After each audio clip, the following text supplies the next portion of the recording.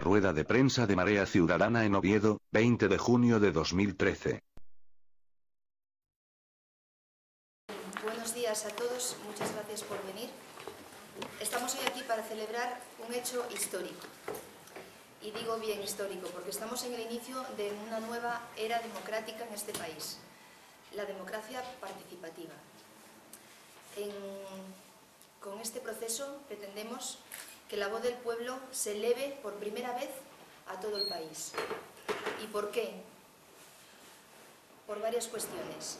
Porque podemos, porque estamos legitimados para hacerlo y porque debemos hacerlo. Porque nuestro pueblo, todos los españoles y en especial las clases eh, más populares, más, más desfavorecidas o más débiles diríamos, están sufriendo y no podemos seguir quedándonos impasibles ante la atrocidad en la que nos estamos viendo envueltos.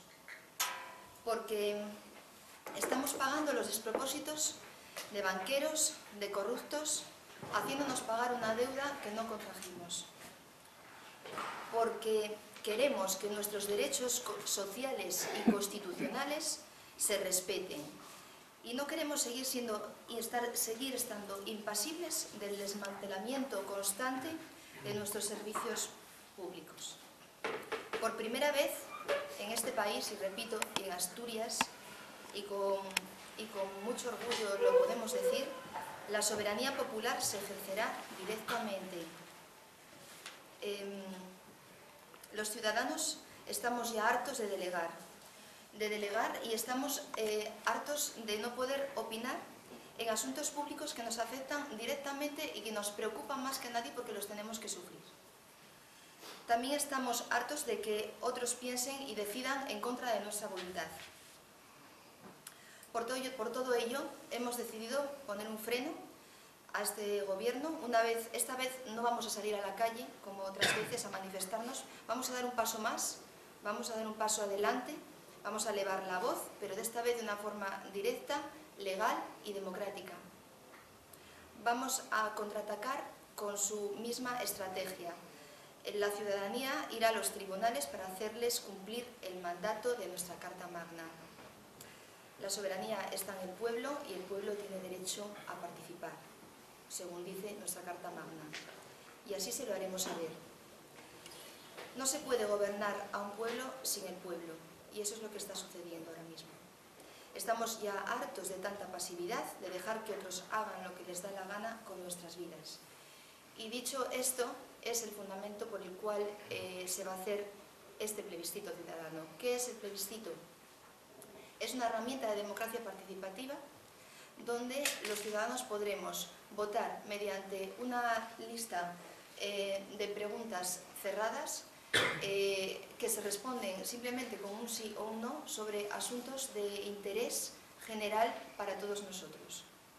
Asuntos que tienen que ver con la deuda que, que, está, que contrajimos y que nos hacen pagar sin que nosotros hayamos dicho nada al respecto, con los servicios públicos, con la privatización de los mismos, con este tipo de democracia participativa que queremos que a partir de ahora sea un hecho, y, mm, y con la corrupción, por supuesto, que mm, es el, mal o el cáncer que tenemos eh, encima en este momento. Eh, a esas cuatro preguntas contestaremos y esas cuatro preguntas se volcarán en unas mesas eh, electorales y a través de una red de resultados que iremos conociendo día con día y al final del proceso pues se elevarán al gobierno.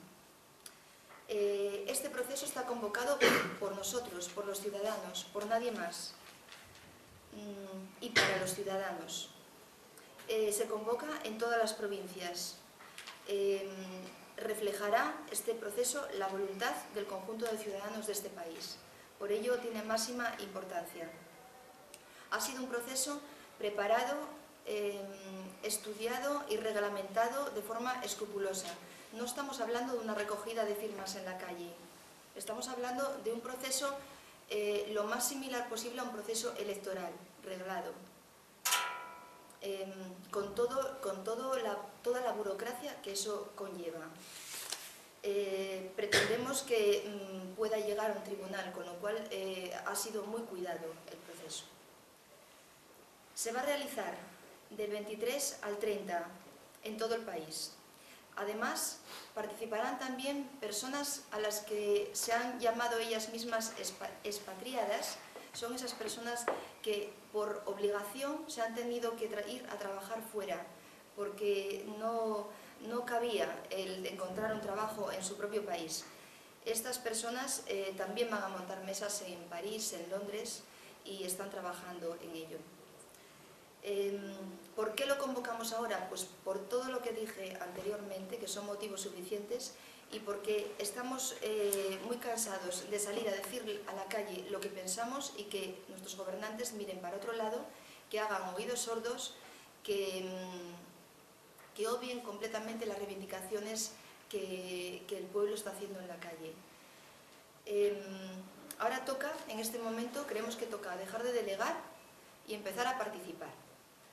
Eh, pasar de la resignación, que es un mal que tenemos, mm, que, se ve que está en el ambiente de muchos ciudadanos en este país, pasar a la indignación y pasar a hacer. Les vamos a desenmascarar, les vamos a desenmascarar porque estamos actos de la falta de, transparencia, de que se criminalice la lucha, que se silencie, que, mm, que se siembre el miedo en la población, pero esta vez eh, creo que van a, ser descubiertos porque vamos a lograr eh, que nuestra voluntad y nuestra voz llegue hasta ellos y no puedan seguir embaucándonos con mentiras. Eh, vamos a someterles ahora nosotros a un control directo a ellos. Eh, mm, el resultado podrá ser mayor o menor, pero por dignidad creo que lo estamos haciendo lo mejor que podemos y, vamos a, y estamos teniendo la, la mejor repercusión y la mejor colaboración de la ciudadanía. Estamos muy contentos por la, por la repercusión que ha tenido concretamente en Asturias y ahora me voy a nuestra tierra porque mm, tengo que decir que en el Estado en completo eh, hay, a día de hoy, que todavía no ha empezado el plebiscito, a día de hoy hay 2.200 voluntarios inscritos pero solamente en Asturias ya somos 400. Con lo cual, em, con esas 400 personas montaremos 750 eh, mesas a día de hoy, que todavía pueden ser más, repito, montaremos 750 mesas en todo el territorio de Asturias, en los mayores núcleos de población, em, y se montarán decenas de miles de mesas en todo el Estado. Mm, creo que Asturias ha demostrado con esta convocatoria eh, masiva y apoyo masivo a este, a, este plebiscito que la rebeldía en Asturias todavía existe, que, esta tierra sigue teniendo espíritu luchador y que lo vamos a demostrar.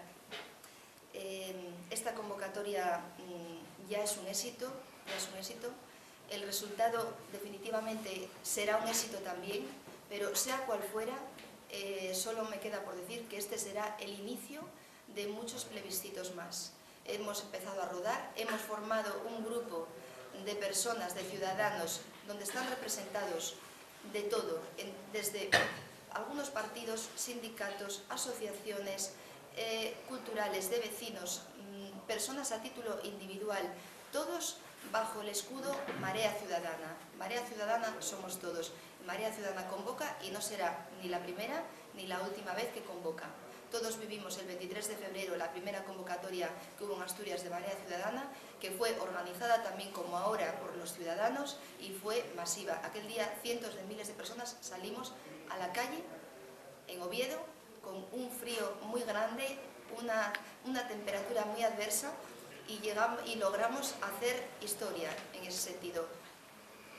Con este plebiscito vamos a volver a hacer historia, estamos seguros de, ellos, de ello y nada más eh, tengo en la mesa a, todas las personas que han estado trabajando activamente en el plebiscito, Victoria, compañera, Ángeles de ATAC, los coordinadores de Avilés, Langreo y Oviedo y todos los coordinadores de más de las diferentes eh, poblaciones más, más eh, de, mayor, de mayor población.